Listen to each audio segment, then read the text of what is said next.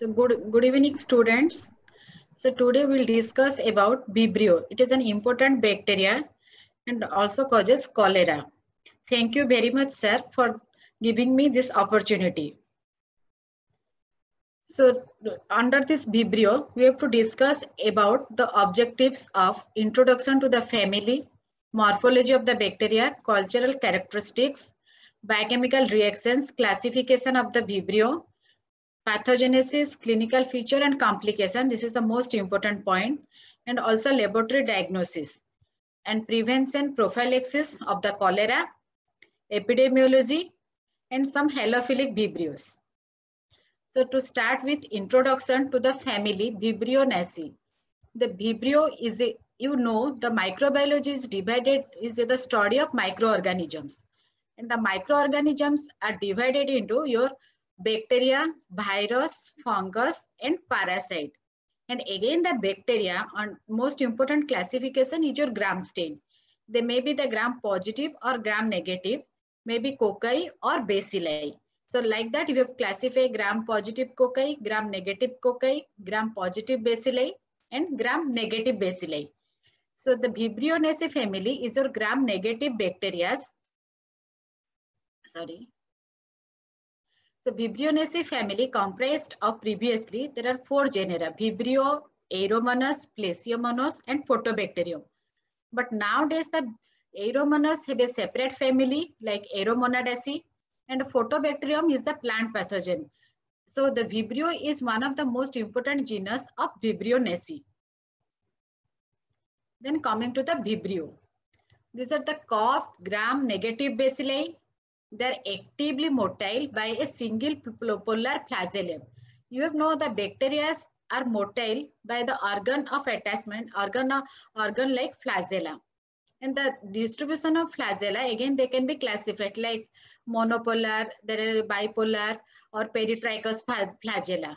So Vibrio are motile by a single polar flagellum at, at one end and it is first described by and named by Filippo Pacini in 1854.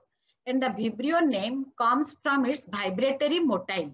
Due to presence of single polar flagellum, they are vibratory motile and the name comes Vibrio.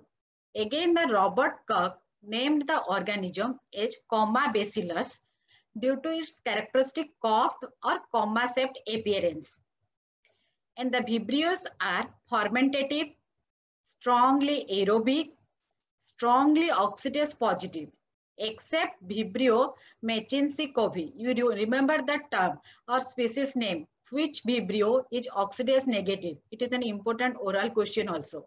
So oxidase, all Vibrios are strongly oxidase positive, except Vibrio machinsi covey. And all are non-sporing and non-capsulated, except Vibrio parahemolyticus and Vibrio vulnificus, which are capsulated. And the unique characteristic of these Vibrios are the growth of this bacteria is stimulated in presence of salt. But the percentage or concentration of salt varies from different species. The some species requires 1%, some species, species can grow at 6 to 8% of salt concentration. And among this Vibrio, there are so many species are there, but most important or pathogenic one is Vibrio cholerae, the causative agent of cholera. Then coming to the morphology. So these are again it's a gram negative motile. So these are the short, cord, cylindrical rod with rounded or slightly pointed ends and there is a fission stream appearance in stained films from the sample. Fission stream means the organisms arranged in parallel and they are actively motile with a single sheathed polar flagellum. And motility can be described as your darting type of motility. This may uh, come as types of motility and again in the fill in the blanks they comes like that which organism have darting type of motility and that is also described as your swarm of gnats appearance. So at least you remember, Vibrios are gram-negative short cork bacilli with a single polar flagellum. This is the structure of this vibrio. There is single polar flagellum and there are pilus or pili are present which have seen organ of adhesion. And again, this is the plasmid, cytoplasm and nucleus. Then coming to the cultural characteristic. You know the bacteria can be cultured, grow artificially. This help in um, isolation or help in laboratory diagnosis of the bacteria. So for growth or culture characteristics, we require certain temperature and certain medias. So these are aerobic. There are some bacteria which are anaerobic, some are facultative aerobic. So these are the aerobic bacteria. And the temperature and range can be 16 to 40 degrees centigrade, but optimum is your 35 degrees centigrade. And better growth occur in alkaline medium. And they are halotolerant. Halotolerant means the bacteria can grow in presence of salt but at 1% is the optimum for growth of this bacteria, Vibrio cholerae. And other Vibrios can grow at around 6 to 8%. So Vibrio cholerae is your halotolerant means they cannot grow more than 6% of salt. So these are halotolerant and those Vibrios can grow more than 6% or 6 to 8%. They are known as your halophilic bacteria or halophilic Vibrios. So there are two types of Vibrio, halotolerant and halophilic. Halotolerant is your Vibrio cholerae. And the bacteria Vibrio can grow in ordinary medias. You have already know the culture medias like nutrient agar, Meckenki agar, blood agar. And also there are some selective medias for Vibrio cholerae. So nutrient agar, the colonies are moist, translucent, round disc with a bluish tinge in transmitted light. And Meckenki agar, these are the colorless at first, become reddish on prolonged incubation due to the late fermentation of lactose.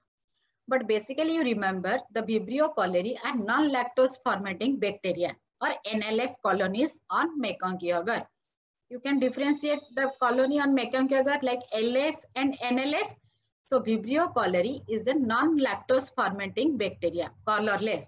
But if you stay the bacteria colony or plate for 48 hours, it become reddish or prolonged reddish due to late fermentation of lactose. Like blood agar, the colonies are surrounded by clear zone or greenish due to hemodigestion you know hemolysis, but here there is hemodigestion. The entire colony is surrounded by a greenish discoloration. Again, you stay, stay the incubation, it can be clear. And gelatin stab. Actually, there is infundibular form or napiform liquefaction occurs in three days at 22 degrees centigrade. This is mostly useful for laboratory diagnosis of Vibrio cholerae. And special medias can be used like your folding or transport media, media, and plating media. So culture characteristic, the bacteria is an aerobic bacteria. It can grow on ordinary medias. It can grow better in alkaline medias, mediums also. So there are some holding or transport media. So like Venkatraman Ramakrishnan medium, Carey Blair medium, and also you can use autoclaved seawater for transport of the specimen.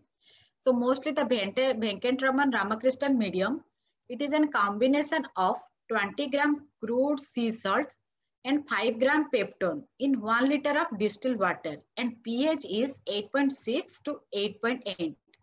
So mainly you maintain the pH for this cholera is your 8.6 or 8 to 9 because it is better grow in the alkaline medium.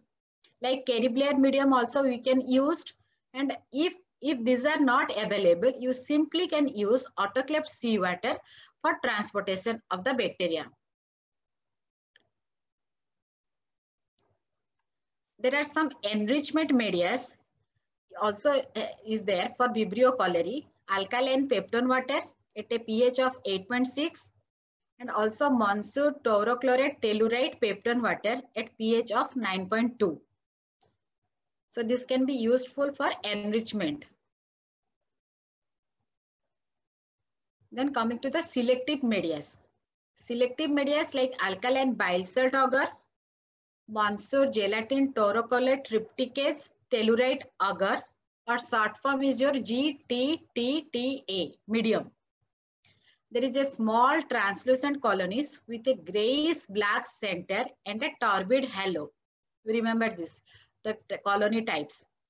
And another most important one, usually used in laboratory, you may, the students may see in your laboratory also, or practical classes, thiosulfate citrate bile salt sucrose. That is your TCBS. Thiosulfate citrate bile salt sucrose medium. It containing thiosulfate, citrate, bile salts and sucrose.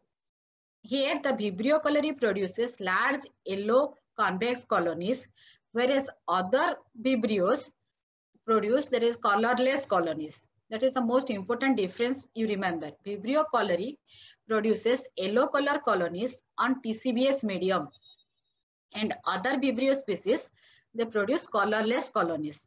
Due to their sucrose fermentation, they produce yellow color colonies. So this is the picture of a TCBS showing yellow color colonies of Vibrio cholerae. This is the picture of blood agar showing this hemodigestion. And this is picture of your MacConkey agar, the colorless colonies.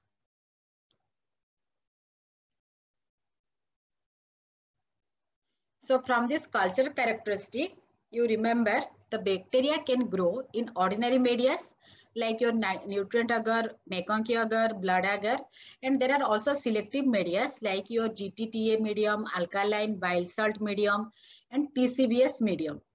And the optimum pH is your 8.2 to 8.6, and it is a strictly aerobic bacteria, and it can grow better at 1% of salt.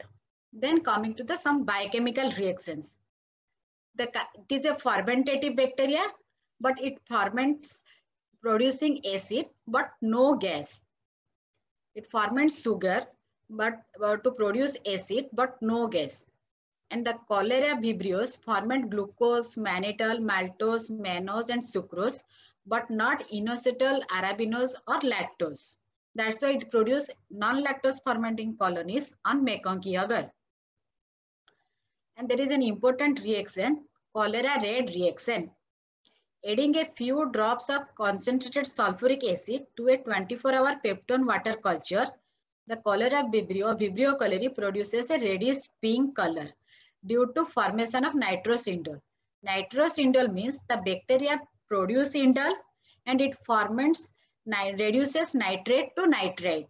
So in combination, the reaction is your nitroso indole reaction or otherwise known as cholera red reaction. The organic, the Vibrio cholerae produces and reduces nitrate to nitrite. That is your cholera red reaction. And again, the organism is catalase and oxidase positive, strongly oxidase positive. And methyl red and urastase are negative. And other biochemical reactions like gelatin is liquefied and it can then elaborate several enzymes such as collagenase, elastase, chitinase, deoxycarbolase, like amino acids, lipase, mucinase, or neuraminidase. It, if you remember, it's well and good, but at least you remember the basic characteristic like it is catalase positive, oxidase positive, it produces indole, it reduces nitrate to nitrite. That is your cholera red reaction. The resistance of the bacteria, actually the resistance is helpful for prevention of the bacteria. So thus it's susceptible to heat, drying, acids, but resist alkalinity. So important point is that it's susceptible to acids. So if the mode of transmission is your fecal route, so for infection, we require a high dose of bacteria, which can cross the strongly acidity of the stomach. And the in some patients, if there is less acid secretion, it favors the infection. And they are destroyed at 55 degrees centigrade in 15 minutes. So you can simply say the patients to drink water at 55 degree. The bacteria can die and does not cause vibrio, cholera. And survival in water is influenced by its pH, temperature, salinity, presence of other organism and pollutions. So resistance mainly, if you know, it can prevent the infection. Then coming to the classification of the Vibrio. This is the most important and little bit complicated. So please listen carefully. The Vibrios can be classified based on salt concentration. I have already told the bacteria can grow in a higher salt concentration. Again, there is a classification, Haber classification. Another classification is your Gardner and Venkat-Raman classification. So the bacteria can be classified based on their salt concentration, Haber classification, Gardner and Venkat-Raman classification. Coming to the classification based on salt, there are non-halophilic vibrios or halophilic vibrios. In this, you can say this is halotolerant also. They grow without salt, but optimum growth occurs at 1% of salt concentration and cannot grow in higher salt concentration. Example is your Vibrio cholerae. So the basing on the salt concentration, non-halophilic vibrio and halophilic vibrio. Philic means loving. So they can, they can grow without salt, but optimum growth occur at 1% of salt concentration, but they cannot grow in higher salt concentration. So these are uh, example is your Vibrio cholerae. And halophilic vibrios, they cannot grow in absence of salt and grow up to 7% of salt. Means higher concentration they can grow. Example is your Vibrio parahemolyticus, Vibrio alginolyticus, and Vibrio vulnificus. The halophilic Vibrio may come as your short note also. And Vibrio cholerae, that is important is your, they can optimum salt concentration is your 1%. In the Haber classification, the classified Vibrios into eight groups based on your um, fermentation of three sugars such as mannose, arabinose, sucrose. And the, they can be classified into eight groups, one to eight. Vibrio cholerae was placed in group one. Nowadays, the classification is revised.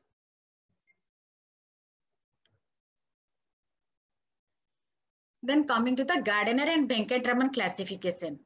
Usually we follow this classification for Vibrio cholerae.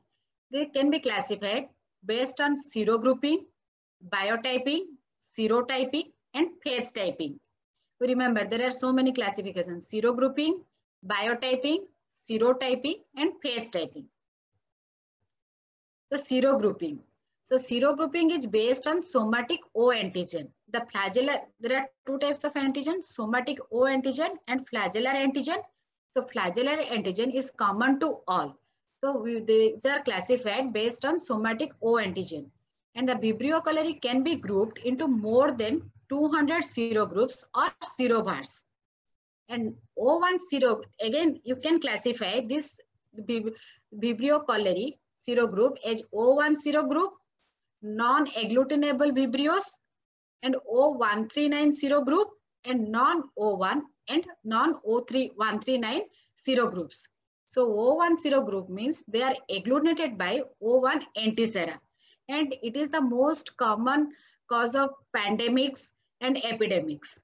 Non-agglutinable vibrios means they are not agglutinated by O1 antiserum. Actually, previously they think that these are does not cause any disease, but nowadays they may cause milder diseases, but not pandemic or epidemic. And O1390 group is the Bengal strain. It causes several epidemics. And again nowadays they consider this NAG is your non-O1 and non-O139 serogroups. They are not agglutinable by O1 antisera and O139 antisera. Coming to biotyping. Biotyping means basing on their biochemical properties. The serogroup O1, which is the most common and causes of seven pandemics of this cholera, the serogroup O1 has two biotypes, classical and alter. And nowadays, there are alter variants are coming. Means nowadays, the isolate which are uh, coming from the samples, they are not fit to this alter or classical groups. So they named as your alter variants. and there are MATLAB variants and Mozambique variants. If you remember this, it is well and good. But you have to remember there are two common biotypes of this serogroup O1. This is not your O139 or non-agglutinable Vibrios. The serogroup O1 has two biotypes, classical and Elter. And this is the difference between classical cholera or and classical and Elter Vibrios. So basing on these biochemical properties, we have to classify. The classical Vibrio is there is not hemolytic, but Elter Vibrio show hemolysis on blood agar. And the Voss-Forskert test is negative for classical, whereas Elter shows positive and does not agglutinate, the classical group does not agglutinate cheek erythrocytes, whereas Elter is agglutinable the cheek erythrocytes the polymyxin B is sensitive to classical, whereas it is resistant. And group 4 phase susceptibility, this is bacteriophage, is susceptible to classical, whereas resistant to Elter. And Elter phase 5 susceptible to this Elter, whereas resistant to classical. This table is in your textbook. You go through this and if you remember this, all the properties, this is a very important short note difference between classical and Elter Vibrios. We have to remember this. Then coming to the serotyping. The serogroup O1 further divided into three serotypes based on minor antigenic differences of O antigen. That is your Inaba, Ogaba, and Hikozima. Inaba is, Inaba is your most common type. So you remember the classification in your mind. The vibrios can be classified basing on salt concentration, halophilic and non-halophilic. The vibrio cholerae belongs to your non-halophilic groups. Means it can grow at 1% of salt but does not grow at higher concentration. Again, the vibrio cholerae can be classified basing on somatic O antigen to O1 non-agglutinable vibrios and O139. And nowadays there is non-O1 and non-O139 Vibrios. So this Vibrio cholerae O1 means it is agglutinable by O1 antisera. And O139 means it agglutinable by O139 antisera. And non-agglutinable or non-cholera Vibrios that does not agglutinable by this O1 antisera. Again, this Vibrio cholerae O1 classified basing on their biochemical properties, that is your biotyping, into classical and Elter. And again, this O1, this both the classical and Elter, they can be serogroup to Inaba, Ogaba, and Hikojima based on their minor antigenic differences. Usually, this classification is helpful for your epidemiological purposes. And there is a classification phase typing. Means depending on the susceptible to different bacteriophages they are classified. Bacteriophage means the viruses present or affecting the bacteria bacteriophage. So elter and classical biotypes can also differentiated basing on your phase susceptibility. I have already shown this table. So again i say the classification of vibrio is most important. You have to remember the classification of Vibrio cholerae, o, Vibrio cholerae O1, O139, non-agglutinable Vibrios, non-O1 and O139, biotype of this Vibrio cholerae O1, that is your a classical and Elter. Again, the serotyping, that is your Inaba, Ogaba, and Hikojima. Then coming to the pathogenesis of cholera. The Vibrio cholerae causes cholera which causes several pandemics and epidemics and limited outbreaks also.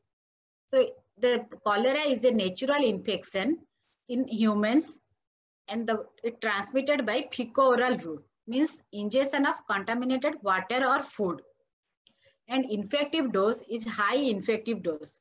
That you can remember from the resistant slide, the bacteria is susceptible to acidity. Though the route is your fecal-oral, it must go through your stomach and the stomach is high acidity. So if you eat or if you take less quantity, then you may or may not suffer from the disease. But for establishment of disease, there is a high infective dose around 10 to the power 8 bacilli is required as the infective dose. And factors promoting transmission, all conditions where gastric acidity is reduced, like your achlorohydria patients where there is less acid secreting like that. And they are highly susceptible to acid. You remember this. Then coming to the mechanism of action. The Vibrios cross the small intestinal mucous layer. Once the Vibrio reaches the small intestine, it crosses the mucous layer to reach the epithelial cells by chemotaxis. The Vibrio is highly motile by motility and the enzyme like mucinase and other proteolytic enzymes. And also it can secrete the hemagglutinin protease enzyme which helpful for the establishment of the bacteria. And once the bacteria reaches the epithelial layer it adhesion to the cell by pilus or fimbria present that is known as your toxin co-regulated pilus or TCP and it is a non-invasive organism. So the infection is limited to intestinal tract. It does not cause extra-intestinal manifestations. And there may be some changes are biochemical rather than histological. Like in some infections, there are histological changes occurs, but here there is only biochemical change. There is no histological changes. And again, the mechanism is it secrete a toxin or enterotoxin, that is your cholera toxin or CT. The main virulent eh, action is your by producing this cholera toxin. So once the mode of transmission is your fecal-oral, so once you intake or ingestion of this bacteria, the infective dose is your around 10 to the power 8 bacilli. Again, it reaches to the small intestine from the small intestine, it goes to the intestinal epithelial by your chemotaxis, motility, or producing certain enzymes. And then it, the bacteria attach to the mm, epithelial cell by pilus and then secrete your cholera toxin or CT. So the cholera toxin production is determined by a filamentous phase integrated with the bacterial chromosome. And the molecular weight of the toxin is around 84,000 and it consists of 1A and 5B subunits. And the B unit, it attaches to the GM ganglioside, that is the receptor of the toxin. Receptors on the receptor on the surface of jejunal epithelial cells present. And A subunit fragment into A1 and A2. So you remember, the you brain mapping your this enterotoxin or cholera toxin, the structure in your brain. It have two subunit A and B. A is one unit, so one A subunit and five B subunits. B for binding, so B is attached to the GM1 ganglioside receptor. And A subunit again fragment into A1 and A2. The A2 subunit only links biological active A1 to B subunit. So A1 fragment causes, so the mechanism of action mainly by your A1. A1, A2 is the role is it binds A1 to B subunit. B binds to the receptor, GM1 ganglioside receptor. You remember the name. And A1 fragment, that is the mechanism of action, the A1 fragment causes prolonged activation of cellular adenylate cyclase and accumulation of cyclic AMP in intestinal lumen. So that leads the cyclic AMP inhibits the absorptive sodium transfer system in villus cell and activates secretory chloride transfer system in Krebs cells. You understand what is the mechanism of action, how it causes your watery diarrhea. So the A1 fragment causes prolonged activation of cellular adenylate cyclase enzyme which leads to accumulation of the cyclic AMP in the intestinal lumen. And the cyclic AMP inhibits the absorptive sodium transfer system in villus cell and activates secretory chloride transfer system in Krebs cells. So sodium chloride accumulated in the intestinal lumen. So after sodium chloride accumulated, to maintain the osmolality, water moves into lumen results in watery diarrhea. And there is loss of fluid and electrolytes leads to shock and acidosis and lastly death of the patient. So what is the mechanism or pathogenesis of the how it causes cholera? The Vibrio, the Vibrio cholerae, the mode of transmission is ingestion. The infective dose is around 10 to the 8 bacilli. Once the human being ingests the bacteria through contaminated food and water, it goes to the small intestine. In the small intestine, with chemotaxis and motility, the bacteria reaches to the epithelial cells and it attaches to the epithelial cells. And the, after this, the bacteria releases cholera toxin, which is the virulence characteristic of this bacteria. And this cholera toxin have two parts, A1, A in subunit and 5B subunits. And these 5B subunits, you see this diagram. This A1, A2 and 5B subunits. And this is your GM1 ganglioside receptor. So B is for binding, A is A1, B subunits. And the A1 is coupled to G protein and it activates your adenylyl cyclase production and increasing cyclic AMP. And this cyclic AMP it causes electrolyte imbalance of sodium chloride in the lumen or secretory. It, it activates the secretory transport system. So accumulate the chloride into your lumen. So to maintain osmolality, the water passively moves to the intestinal lumen, resulting watery diarrhea.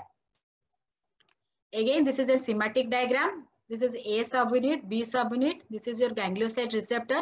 It attaches to the ganglioside receptor where the A subunit is released and it then it activates the G protein activation leading to adenylate cyclase and again the cyclic AMP are released or accumulated. It activates this protein kinase enzyme leading to the secretion of this chloride, sodium chloride into the lumen to maintain the osmolality in the intestinal lumen, passively water moves to the intestinal lumen, resulting in watery diarrhea. This is the then coming to the clinical manifestation. If you understand the pathogenic mechanism, you can remember the clinical manifestations. In 75% of cases, the patient suffering from asymptomatic infection. In uh, the 20%, that may be mild diarrhea and there may be the clinical feature is your sudden onset of explosive and life-threatening diarrhea. Usually watery diarrhea, there is a sudden onset of painless watery diarrhea and it mixed with your this rice, that's why it is known as your rice water stool. That is a non-bilous, slightly cloudy and watery with mucus, flakes and fishy odor in inoffensive odor and it may associate associated to vomiting and muscle cramp due to your imbalance of electrolytes. So the most common clinical feature is your diarrhea, but most of the patient there may be asymptomatic infection or the patient may suffering mild diarrhea. It may goes unnoticed. But in some patients, there's severe diarrhea, to watery diarrhea leading to your uh, loss of fluid and acid, the patient may suffering from acidosis or hypovolemic shock and death. The disease may associated with your vomiting, but there is no fever.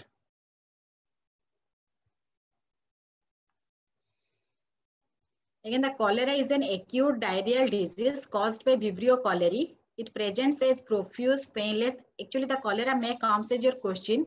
So you write this. Cholera is an acute diarrheal disease caused by Vibrio cholerae.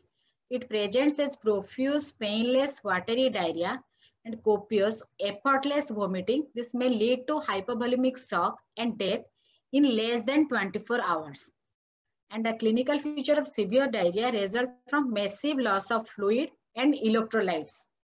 There is rice water stool.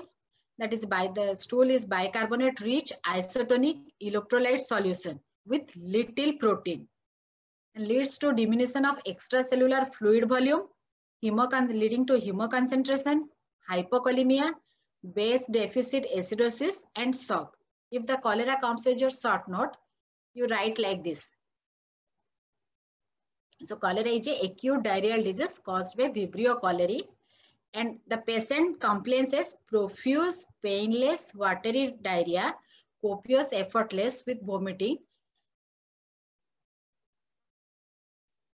Then coming to your complications.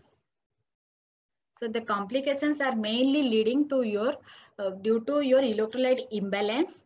So it may cause, the most common is your muscular cramp, may lead to renal failure, pulmonary edema, cardiac arrhythmia due to hypokalemia, or paralytic ileus. These are all lead to your electrolyte imbalance, fluid loss and electrolyte imbalance. The most treatment is your fluid replacement, electrolyte and fluid replacement. Then coming to the laboratory diagnosis, which one is for microbiology point of view it's most important, how you diagnose.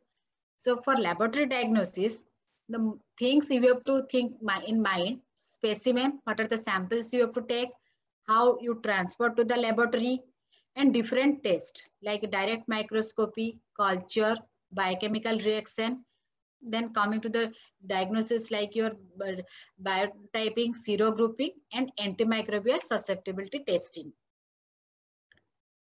Then coming to the specimen, the most important specimen is your stool.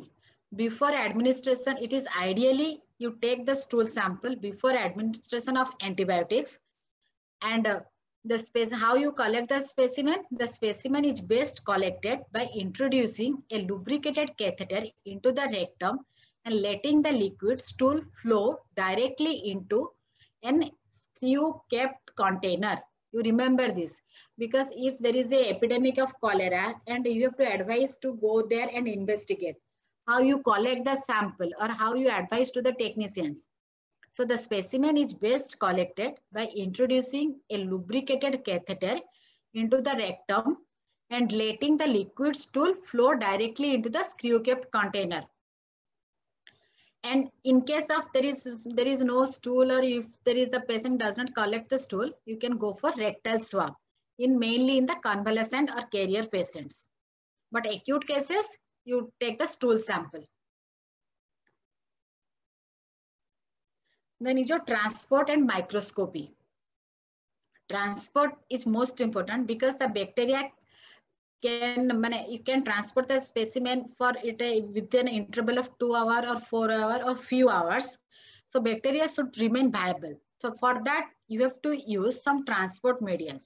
The role of transport media is the bacteria is viable but not multiplying.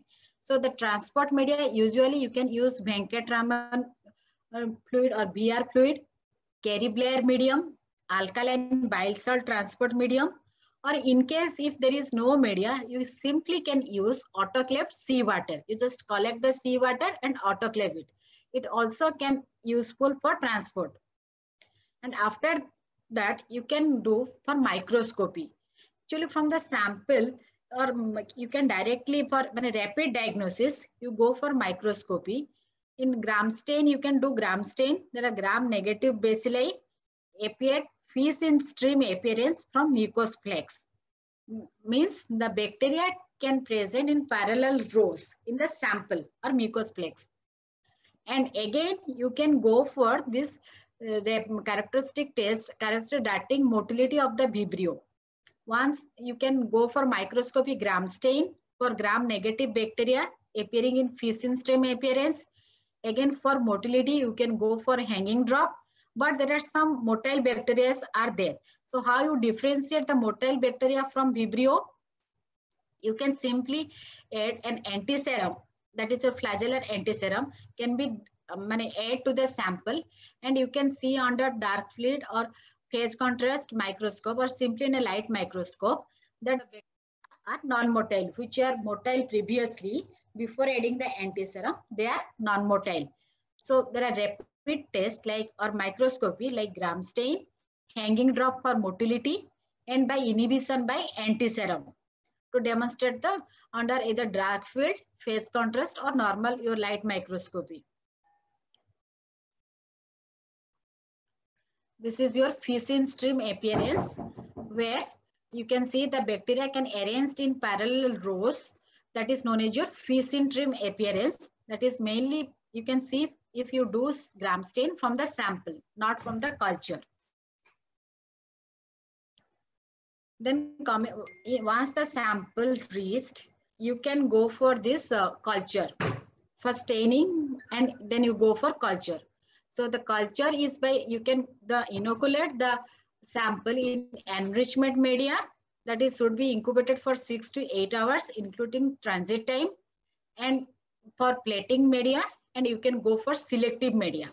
So already I have described the colonies on nutrient agar, blood agar, Mekong agar and selective medias like TCBS, alkaline bile salt agar and GTTA. So enriched media mainly useful for this enrichment of the bacteria. Enrichment means it is a liquid media and the liquid enrichment media for your Vibrio is your already I have discussed enriched media is your alkaline bile salt or alkaline peptone water. You have again go through the previous slides of this culture characteristics.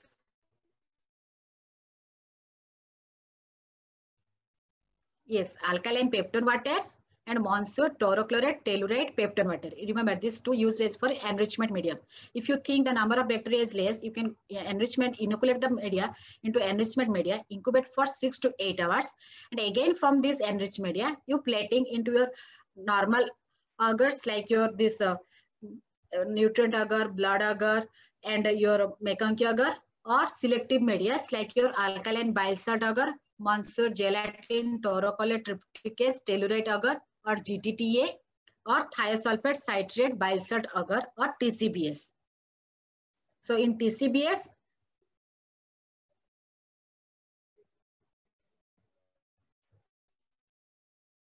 so specimen then transport media microscopy from the sample then culture culture you can directly do culture in the plating media और inoculate enrichment media go for plating So plating media, you can go for nutrient agar, blood agar, Mekong agar.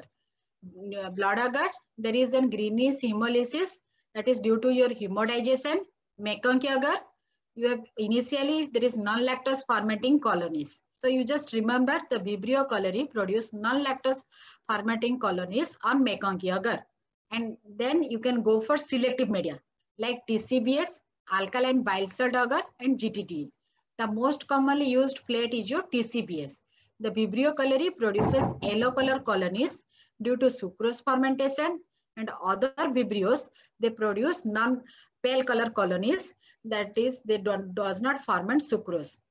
And after you can put this to incubator aerobically for overnight.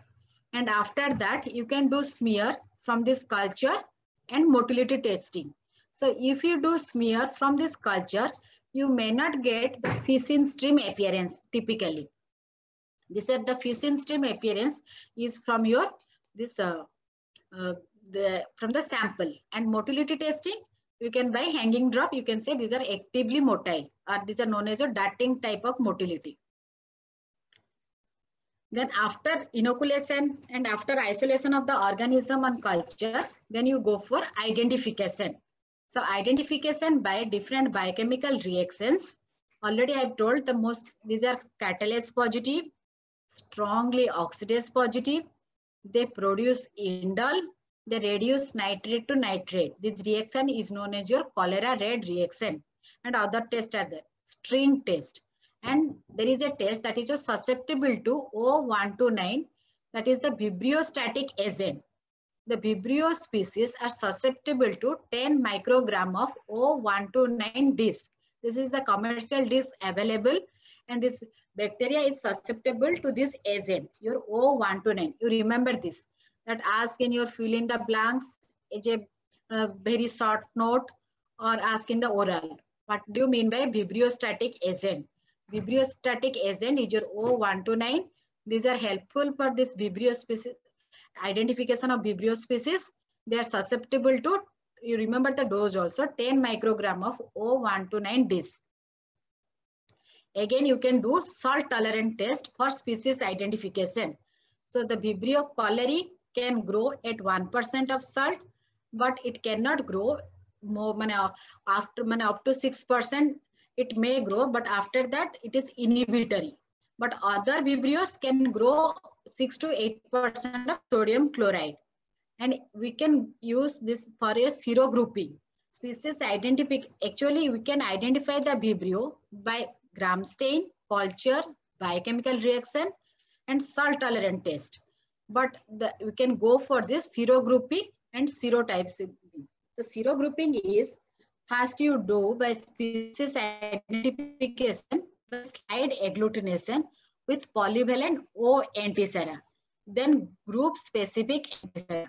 I think huh, this, this slide is important. Serogrouping and serotyping.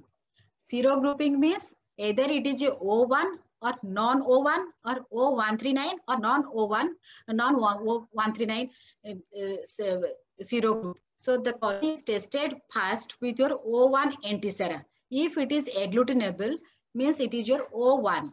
If positive, then serotyping. Next step is serotyping. If it is negative with your O1 antisera, then you can go for your O139 antisera also. How you do? Take a slide make a drop of this, uh, make a isolate colony and mix with your normal saline.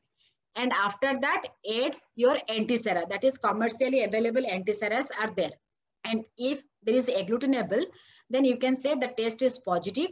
If negative means there is no agglutination that can be visible to your naked eye with proper light. If, if it is agglutinable, the culture is agglutinable with O1 antisera, then we go for this serotyping Serotyping means there is either it is a Ogaba, Inaba or Hikojima. The serotyping is done by testing simultaneously with Ogaba and Inaba antisera.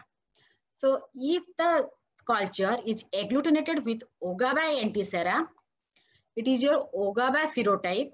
If it is agglutinable with your Inaba antisera, it is an Inaba serotype. If agglutinated with both Inaba and Ogaba, it is your Hikojima serotype. And after that, you can go for your antimicrobial susceptibility testing by Muller Hinton Agar or Kirby Bear this division. So this is the flow chart of this laboratory diagnosis. Which one is most important for cholera? You collect the sample. The most imp uh, important sample is your stool. And if the stool sample is not available, you can go for this rectal swab. After that, you have to place in a transport medium. Transport medium means BR fluid, Carrier medium or autoclaved seawater and send to the laboratory. And after this sample, you can directly go for the staining or streak on the selective or non-selective medium or both. Selective means your TCBS, GTTA or alkaline bile salt agar. Or non-selective medium means nutrient agar, blood agar, MacConkey agar or both you can choose. Most importantly, you can go for this MacConkey agar, blood agar and TCBS combination of both the selective and non-selective. And if you think that the number of organism is less, you can inoculate into enrichment broth. That is your alkaline water. Again, incubate for 6 to 8 hours at 35 to 37 degrees centigrade then subculture from this uh, alkaline peptone water to selective and non-selective medium or both. After that, inoculate to overnight, then colonies are appear. If the colonies are appearing and the identifying resembles to the Vibrio cholerae, you go to the biochemical test and after biochemical test, we are doing serogrouping and serotyping. So First, your stool sample collection. You remember or you brain map the laboratory diagnosis of Vibrio in your mind. I am again telling that is the most important.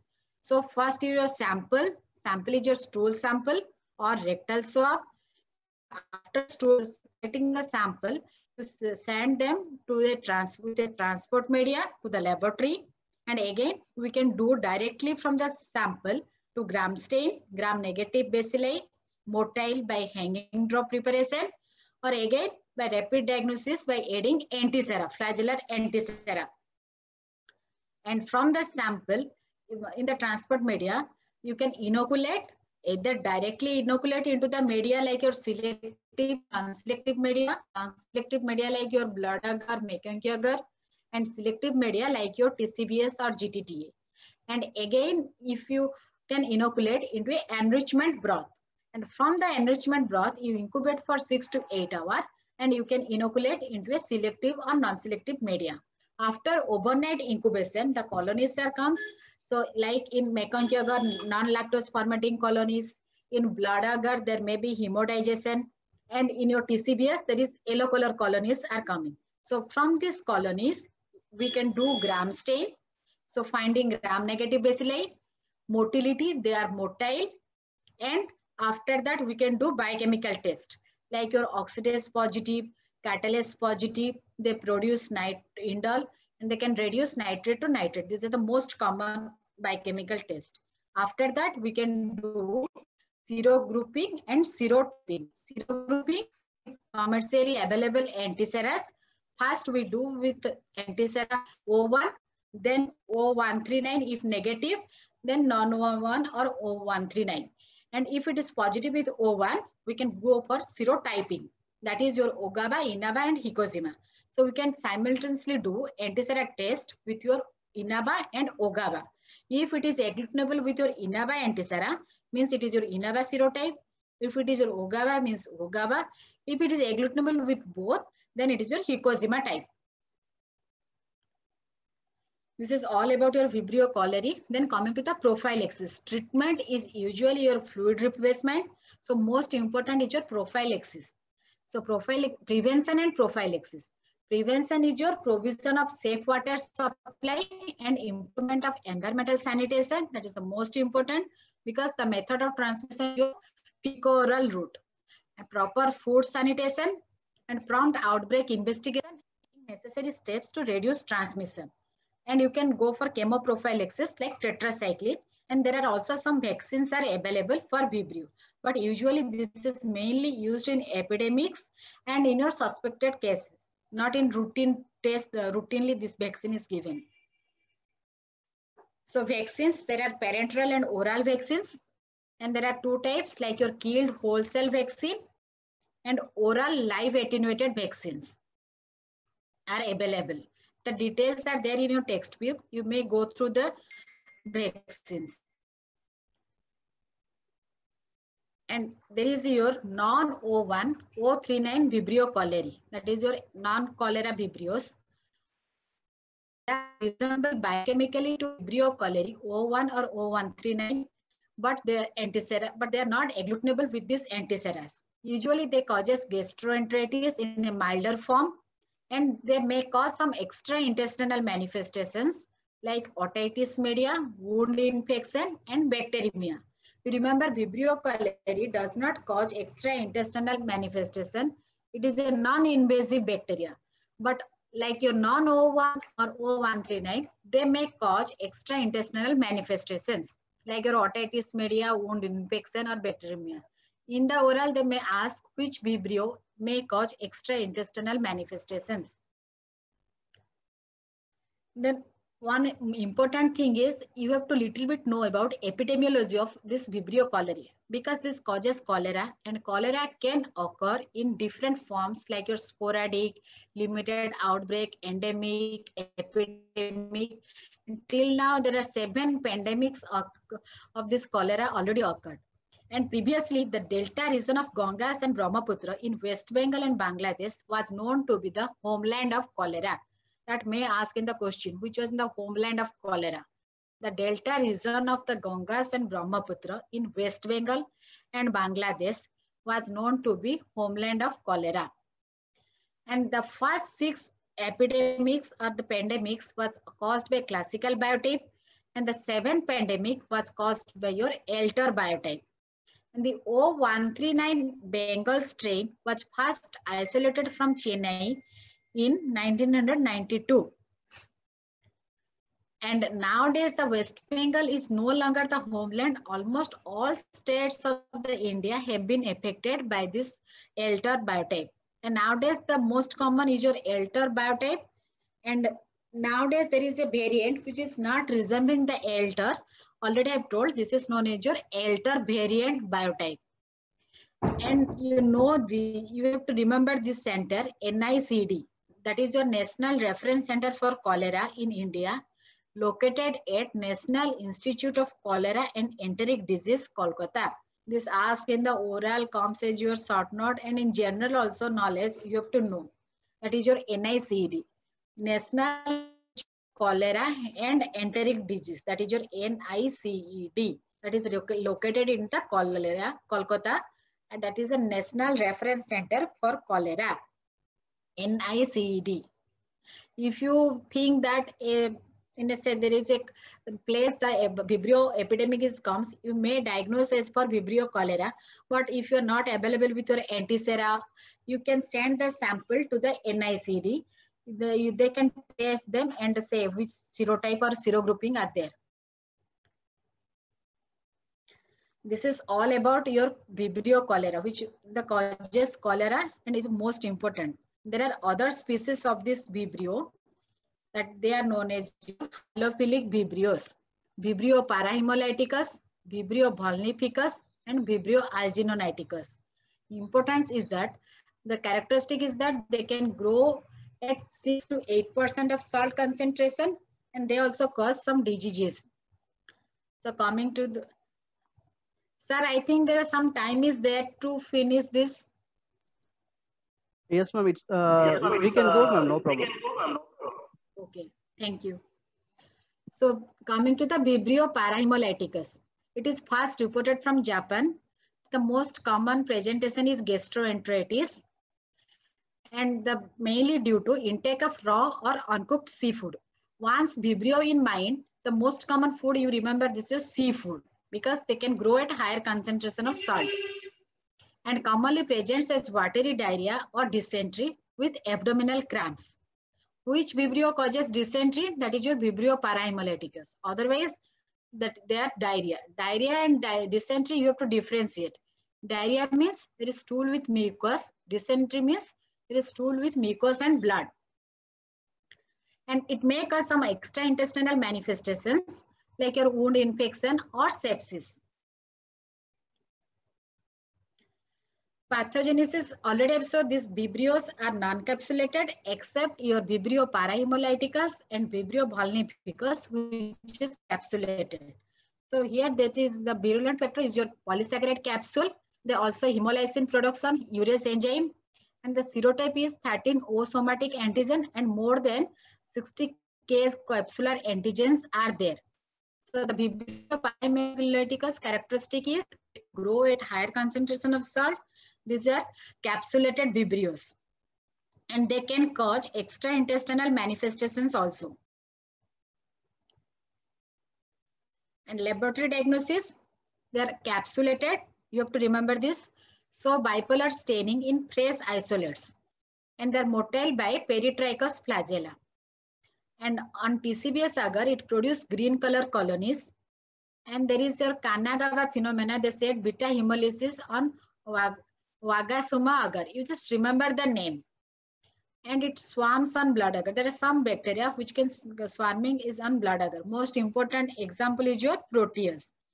But other species, if you remember, they cause swarming on blood agar.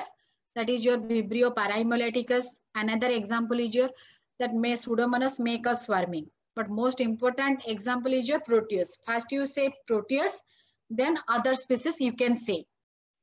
So it can resist maximum of 8% sodium chloride. That's why they are known as your halophilic vibrios. Your vibrio cholera is known as your non-halophilic or halotolerant. Then coming to your vibrio vulnificus. That is your mainly causes sepsis or primary wound infection. That is your extra intestinal manifestations. Laboratory diagnosis, you can go for this blood or cutaneous lesion here it usually causes sepsis and wound infection. So never say Vibrio vulnificus, the clinic sample is your stool. Here sample is your blood or cutaneous lesions.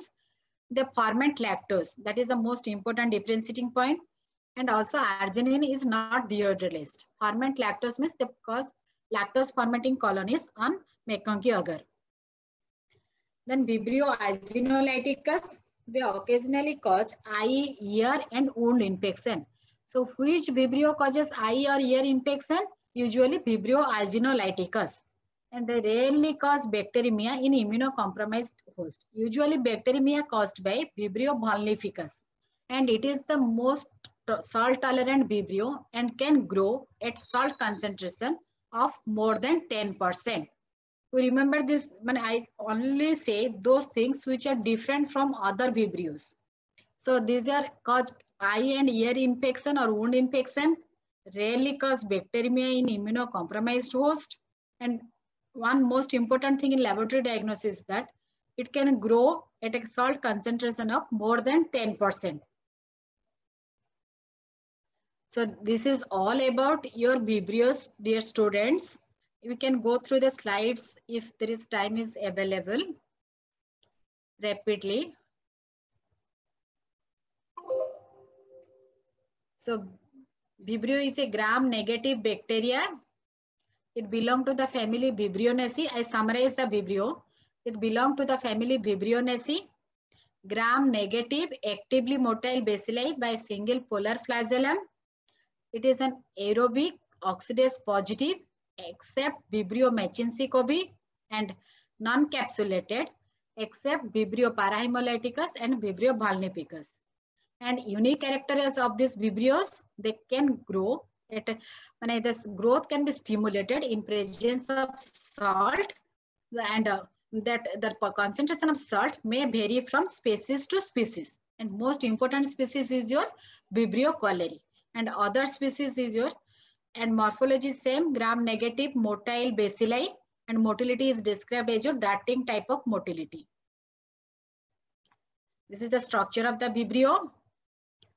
Cultural characteristic, they can aerobic, better grow in alkaline medium around pH 8.2 to 8.6 and they are halophilic and non-halophilic. Actually halotolerant, I have written for this Vibrio cholerae, which one is most important and they can grow in nutrient agar, make, uh, common medias like nutrient agar, MacConkey agar, blood agar. In MacConkey agar, they produces non-lactose fermenting colonies. In blood agar, they, there may be greenish or clear around the colonies due to hemodigestion, not hemolysis. And the special media like your holding or transport media, enrichment or plating media. You have to remember the, all these medias. Holding media like your VR, short form or Venkatraman Ramakrishnan medium. You can use Kerry Blair medium. You can use autoclaved seawater. Enriched medium like your alkaline peptone water and Montsou torocolor telluride peptone water. Plating media, these are selective media, alkaline bile salt agar, Montsou gelatin torocolor trypticase telluride agar, or you simply, you can remember GTTA and most important, you have to remember TCBS and full form also. Thiosulfate, citrate, bile salt, sucrose agar. The Vibrio cholerae produces large yellow color colonies. This is your colony characteristics. This is mainly the TCBS, blood agar, and your MacConkey agar. And these are your fermentative, producing acid, no gas. These are your produce cholera red reaction. They produce indole, reduce nitrate to nitrate. Catalase and oxidase positive, and the, the urease is negative. Then other biochemical reactions, they produce different enzymes. Resistance is mainly useful for prevention of the bacteria. Classification is most important. The Vibrios can be classified based on their salt concentration, Heiberg classification, Gardner and Venkatraman classification. Based on their salt, they can be classified in non-halophilic, halophilic. You remember that most students, they say wrongly Vibrio cholerae is your halophilic. Vibrio cholerae is a non-halophilic Vibrio. They can grow optimum at 1% and cannot grow at higher salt concentration. I have repeatedly told because the students mistake this. Vibrio cholerae can say halophilic, but not. The Vibrio cholerae is non-halophilic. Halophilic is your Vibrio parahemolyticus, alginolyticus, and vulnificus. Heiberg, you can just remember basing on the sugar fermentation and Gardner and Venkatraman classification is most important. Nowadays, these are also modified. They can be classified into serogrouping, biotyping, zero group typing, and phage typing. So Vibrio, that is your species is your Vibrio cholerae and other species. So Vibrio cholerae, basing on their somatic O antigen, they can be classified into O1, O139, non-O1 and non-O139. O1 means the Vibrio cholerae, they can be classified, agglutinated by your O1 antisera. And non-O1 means they cannot agglutinated. O139 means they can be agglutinated by your O139 antisera.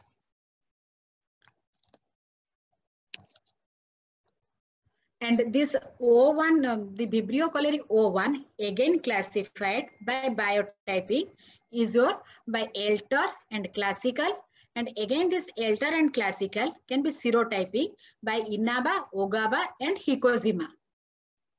This is a biotype, your classical El Tor. These are the different classific, different points. This table is your textbook. You can go through this. And serotype, your Inaba, Ogawa, and Hikojima phage typing is also there, but susceptibility. Then most important is your pathogenesis, how it causes cholera or the severe diarrhea. The mode of infection is your fecal route, means ingestion of the bacteria through contaminated water and food. The bacteria is highly susceptible to the acids. So the dose is, they require in high dose around 10 to the power 8 bacilli. So the once it goes across the stomach, it goes to the small intestine in the small intestine with chemo, chemotaxis and with the help of the motility, the bacteria can go to the intestinal epithelial cells where it's attached to the cell and it secretes cholera toxin. It creates cholera toxin and this cholera toxin have A1, A and B subunit.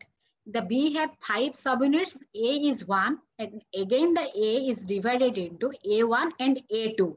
The A1 is the active part, A2 is bind A1 to the B unit. B is attached to your ganglioside receptor, GM1 ganglioside receptor of the intestinal epithelial cells, where the A1 coupled to the G protein and it produces adenylate cyclase in the leading to cyclic AMP production in large amount. It causes the secretion of chloride into your uh, intestinal lumen and due to the increased concentration of chloride in the intestinal lumen, to maintain the osmolality, water is passively moved to the intestinal lumen, leading to watery diarrhea. This is again the schematic diagram. You have to remember, if you remember this, you can easily remember the pathogenesis mechanism. And clinical manifestation, you, usually the 75% is asymptomatic. There are some patients mild diarrhea in severe cases, um, there is sudden onset of explosive and life-threatening diarrhea and usually causes rice water stool or watery diarrhea. That uh, characteristic of stool is the non-bilious, slightly cloudy and watery with mucous plaques and facial offensive odor. And there uh, it may associate with vomiting, but there are no fever. And usually the complications are related to your this electrolyte imbalance, like your muscular cramp, renal failure, cardiac arrhythmia due to hypokalemia, paralytic ileus.